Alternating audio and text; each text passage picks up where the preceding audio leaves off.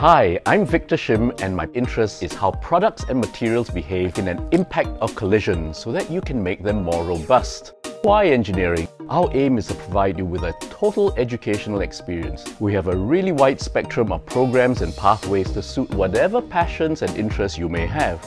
Come work with like-minded people to build race cars, flying machines, better robots, formulate new materials, techniques and systems, and apply professional engineering skills to make life better for all of us. If you have multiple passions, there are double degrees, second majors or minors that you can add to engineering. You'll also end up with expertise in perhaps business administration or economics or another subject you have a personal interest in opportunities to spend time overseas on student exchange, work in a startup company, or even apply engineering in humanitarian causes.